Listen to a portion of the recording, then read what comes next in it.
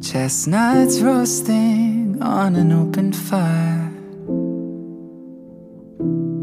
Jack Frost sniffing at your nose